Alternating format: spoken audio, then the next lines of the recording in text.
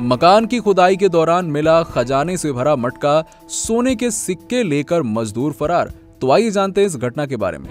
UP के जौनपुर ज़िले से एक चौंकाने वाला मामला सामने आया। यहाँ एक मकान की खुदाई के दौरान पुराने जमाने का मटका मिला। मटके को खाली किया गया तो उसमें से सोने का खजाना मिला है।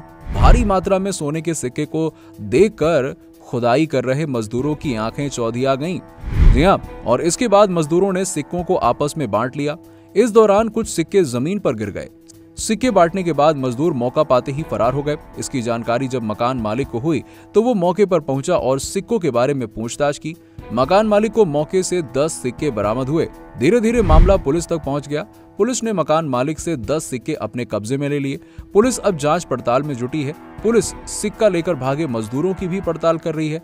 मछली शहर के काजियाना मोहल्ले के एक मकान में नाली की टंकी बनाने के लिए खुदाई चल रही थी।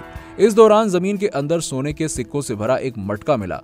मजदूरों ने मकान मालिक को बताए बिना ही सिक्के को आपस में बांट लिया। मजदूरों के जाने के बाद मकान मालिक को भी मिट्टी के अंदर से 10 सिक्के बरामद हुए। उसके बाद मकान मालिक ने मजदूरों से पूछताछ की तो पता चला कि सोने के सिक्के से भरा मटका था ये तो जिसमें से कुछ मजदूर सिक्के लेकर भाग गए।